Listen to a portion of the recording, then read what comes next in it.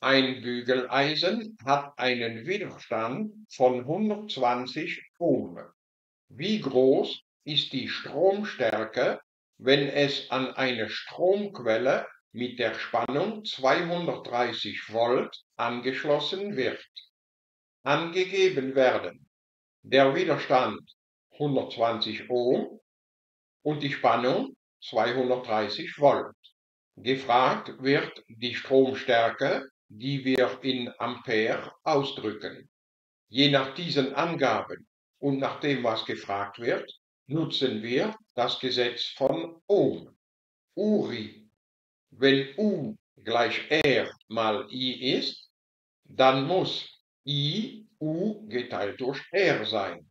Wir ersetzen U durch 230 und R durch 120.